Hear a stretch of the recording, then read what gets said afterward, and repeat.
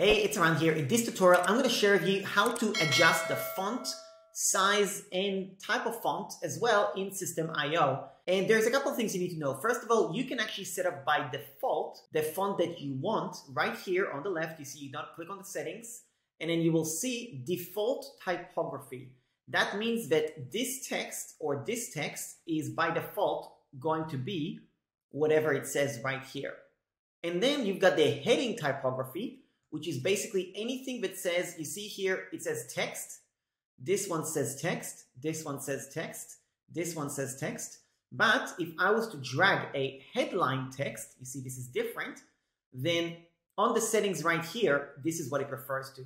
So you'll notice that if I change this, for example, to something else, and I'm to choose Google Fonts for the sake of demonstration, and I'm to make this one Roboto Condensed. You will notice that this headline will automatically become Roboto Condensed automatically. Okay, so I'm going to click on it, and here it is, automatically changes. Now, if I was to change the default font right here as well to something else, like Oswald, let's say, you will see that this changes automatically as well. Now, you would notice that this one, for example, didn't change. So you might be wondering, well, why didn't it change? So you click right here, and you'll notice that the font type is, the, is specifically Poppins extra bold for this specific headline. That's why it didn't change. If you want everything to be exactly the same and consistent, instead of Google Fonts, you will choose same font as the page, which is Oswald. Now, the same font as the page means that whatever font you set up here for the normal text and the heading text is going to be identical across the board. But if you want to sometimes customize things specifically how you want it, you would choose something different. In this case, I'm to go with Poppins because that's my brand.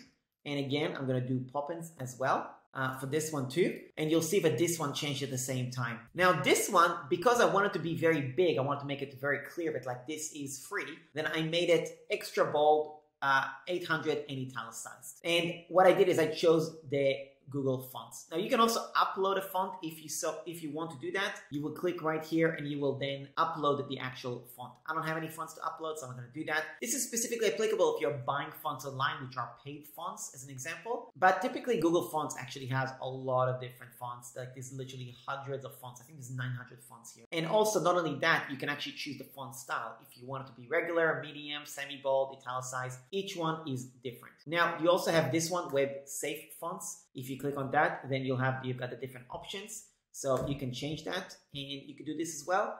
Again, it's totally up to you depending what your fonts are. I usually use Poppins because that's my brand fonts. So let me find it, Poppins, and there you go, okay? Now, in my case, I also do extra bold italicized. That's just me, but you could do it however you want it. Next part is also letter spacing. So if you want to have certain spacing between the, the letters, for example, like with the word free, that's actually kind of neat to have it this way as well. You can do that. If you were to do that, for example, on normal text like that, and you were to move it over, it might not look so good. But again, totally up to you how you want it. Um, in terms of the uh, font, like here, you have uh, pretty much the font size and another thing, which is the line height. Now, the line height refers to the spacing between the two sent sentences right here.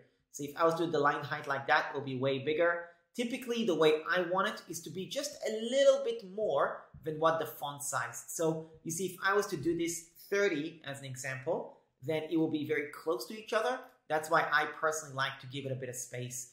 And you could you could just move it this way. And I like to do even numbers. It doesn't really have to be, but just makes my life a bit easier that way. Again, the spacing, you can change that as well if you want. But this is totally up to a style of how you want your content to look. It's good for headlines as a general text, I don't really use that. So that's about it on how to do the fonts. So really the first step for you uh, when you're just starting a page, to recap, you want to go to settings and you want to choose the font that you want for the text. And then you want to change your font for the headlines. And then once you uh, move the text over, uh, then you can customize if you want it to be the same thing consistently and you would choose this, or you would customize and choose your own font depending on the specific individual section. So that's about it. If you have any questions, let me know. If you're watching this video on YouTube, uh, please go ahead and subscribe if this is your first time here. I record a lot of tutorials on Systeme IO. You're welcome to leave a comment with any questions you have so I can continue to add more content and helpful tutorials on Systeme IO. So that's the Systeme IO fonts tutorial. Hope you got value and I'll speak to you soon. Cheers. Thanks a lot for watching this tutorial. I really appreciate it. So if you have not used Systeme or haven't tested it out, you can actually create a free account. You're missing out big time. It is a great software. And all you gotta do is go to eranbucai.com forward slash SIO.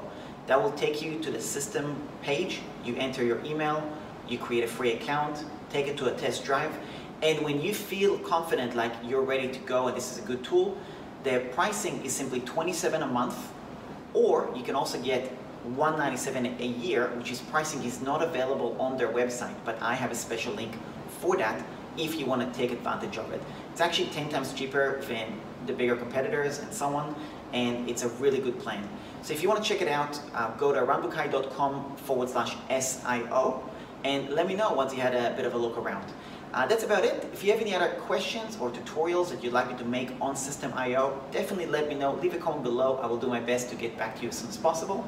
And uh, that's about it. Thanks, I'll speak to you soon.